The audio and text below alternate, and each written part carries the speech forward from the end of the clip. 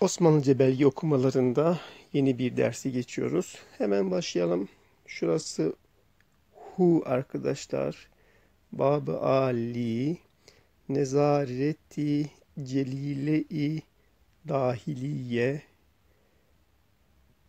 İdare-i Matbuat Adet yani numarası 1498 kaldıralım.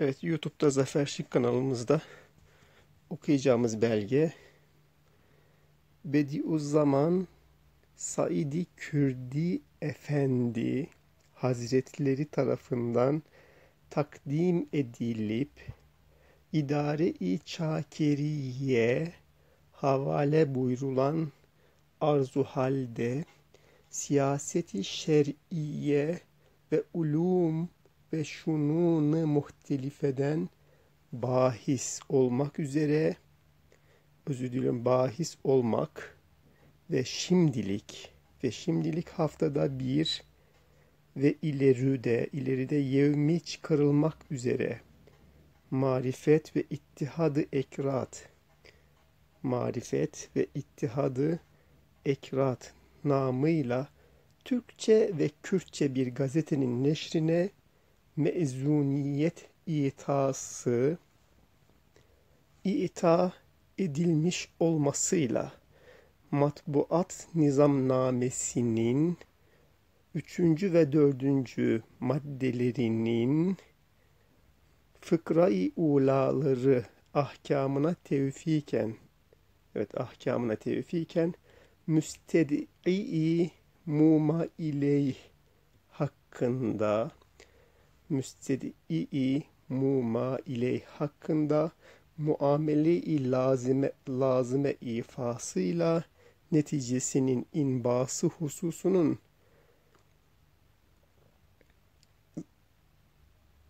zaptiye nezareti aliyesine evet zaptiye burada bir B eksik kalmış arkadaşlar. Zaptiye nezaret aliyesine emr ve işar buyurulması ya da emru işar buyurulması babında emru ferman Hazreti men lehül emrindir.